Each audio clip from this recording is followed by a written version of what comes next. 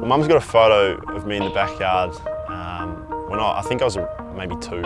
Um, and I had a, a, plastic bat in my hands and was trying to hit a ball around. So um, I think it's always been sport for in the family, um, and, and cricket was one of those. Um, something I always always enjoyed doing. Um, played at school with, with mates at school, played at the end of the street with um, the guys in the street that I, I, went to school with as well. Um, and dad, dad was heavily involved in the junior club, so something that um, was part of my life, life from a young age, and, and I could play with my mates, and it didn't have to be out on a, in a park. It could be, you know, we played a lot in this uh, this factory in the end of our end of the street. It was it was always quiet on the weekends, so we just play in the car park with with uh, you know the milk crates as the stumps and lose endless amounts of tennis balls on the roof and, and you know get to the end of school holidays and Dad would get on the, the big ladder and get on the roof and pull down 30, 40 tennis balls.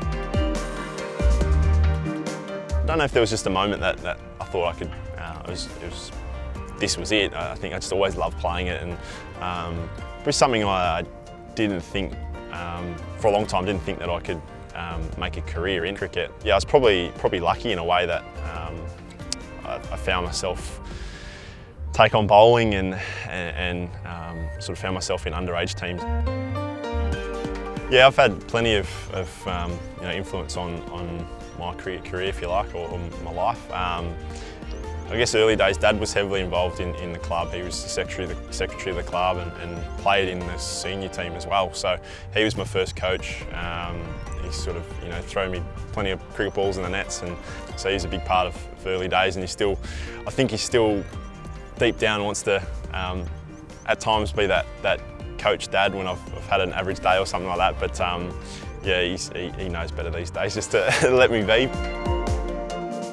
Yeah, pulling on the baggy green for the first time um, was an incredible moment. I'll never, never forget it. To be in that, um, I guess that circle and, and, there were two other boys making their debut that day with, with James Pattinson and David Warner and um, I, was, I was fortunate enough to have my, my cap presented by Richie Benaud and it was really special for me and, and um, look, it's one of my most prized possessions. Um, something that every kid who wants to play cricket for Australia or loves cricket wants to pull on the baggy green and, and to, to be fortunate enough to, to be able to, to receive one and, and um, play a few, few games for Australia is very special to me.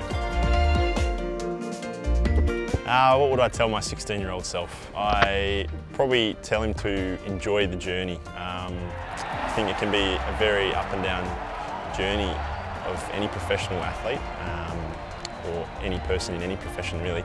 The ups and downs of the journey, it's uh, it, probably what makes the journey um, all the more special, I think. And, and I've definitely had plenty of ups and downs through injury and, and, and selection and, performance and the rest of it. So um, I think it's something that I've, I've learned to get a lot better with the older I've gotten and more I've played.